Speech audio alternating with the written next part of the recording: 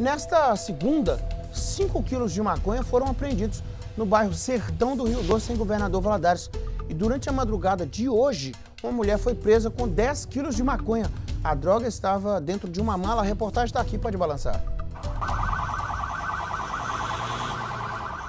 A apreensão aconteceu durante a Operação Bravo Torres, que é uma das ações dos militares do 6 Batalhão de Governador Valadares para combater os crimes violentos, entre eles o tráfico de drogas. Segundo denúncias, um homem de 28 anos estaria guardando entorpecentes na casa dele.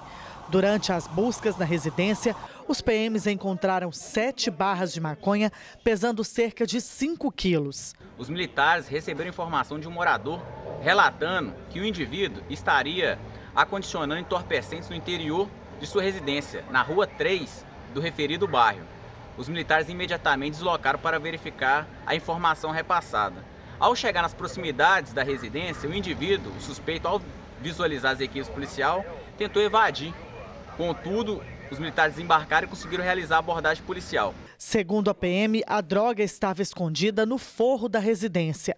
O homem foi preso, os materiais apreendidos foram levados para a delegacia da Polícia Civil. Durante as diligências, foram localizados no forro da residência sete barras de substâncias análogas à maconha. O indivíduo ele foi preso por tráfico de drogas e conduzido para a delegacia de plantão de governador Valadares. Na mesma operação policial, foram apreendidos mais 10 quilos de droga durante a madrugada. Os entorpecentes eram transportados por uma mulher que saiu de Belo Horizonte. A suspeita foi abordada ao descer do ônibus intermunicipal no bairro Vila Bretas. Dentro de uma mala foram encontradas 12 barras de maconha, pesando cerca de 10 quilos, e uma barra de crack, pesando 1 quilo aproximadamente. Os militares encadearam a operação de cerco para tentar fazer a abordagem desse ônibus. Próximo ao SESI, na JK, os militares visualizaram mulheres embarcando do ônibus.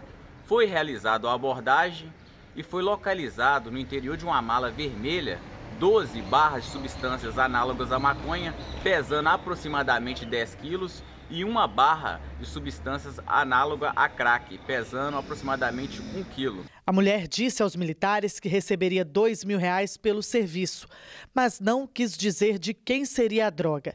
Ela foi presa e encaminhada para a delegacia. Essa mulher conhecida no meio policial, ela tem outras passagens, tem passagem por tráfico de drogas, porte ilegal de arma de fogo e furto. É, promessa de ganhar um dinheiro que não vale a pena, não paga nem advogado isso aí. Essa que é a verdade, né?